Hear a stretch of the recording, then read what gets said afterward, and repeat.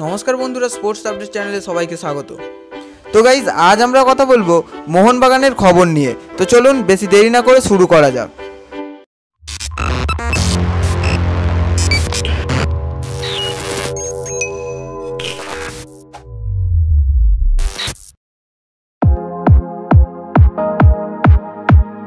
চেহারা পাল্টাচ্ছে মোহনবাগানের।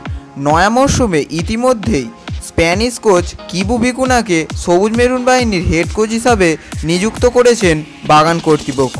এবারে পালা সহকারী কোচ নিয়োগের।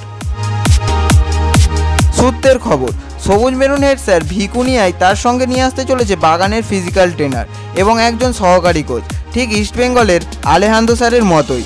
তবে শুধু হেড কোচের নিয়ে আসা সহকারী কোচ নয়, জানা যাচ্ছে যে ক্লাবের তরফেও নিয়ে আসা হবে এক সহকারী কোচকে। সবুজ মেরুন কোচ ভিকুনিয়া, লাল হলুদ কোচ আলেহান্দোর মতোই স্প্যানিশ হওয়ায় রয়েছে ভাষা সমস্যা।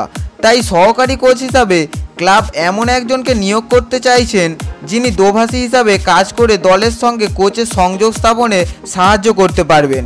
অর্থাৎ ইস্টবেঙ্গলের পথে হেঁটেই বাগানেও আসতে চলেছে দুজন সহকারী কোচ। কিন্তু সবুজ মেরুন হেড স্যার কবে আসতে চলেছেন কলকাতাতে? সূত্রের খবর জুন মাসের প্রথম অথবা মাঝামাঝি সময়ে কলকাতায় পা রাখতে চলেছেন ভিকুনিয়া। তার আগে তিনি নিজের দেশেই সেরে নেবেন বাগানের বিদেশি ফুটবলার নির্বাচনের কাজ। প্রসঙ্গত, মোহনবাগান কর্তারা ক্লাবের বিদেশি খেলোয়াড় নির্বাচনের দায়িত্ব দিয়েছেন কোচের ওপরই। তো ফ্রেন্ডস আপনি যদি আমাদের চ্যানেলে নতুন হয়ে থাকেন স্পোর্টস সংক্রান্ত সমস্ত রকম আপডেট পেতে আমাদের এই ছোট্ট চ্যানেলটিকে সাবস্ক্রাইব করে দেবেন এবং পাশে থাকা বেল আইকনটি বাজিয়ে দেবেন। আর যারা এই চ্যানেলটি সাবস্ক্রাইব করেছেন তাদেরকে ধন্যবাদ।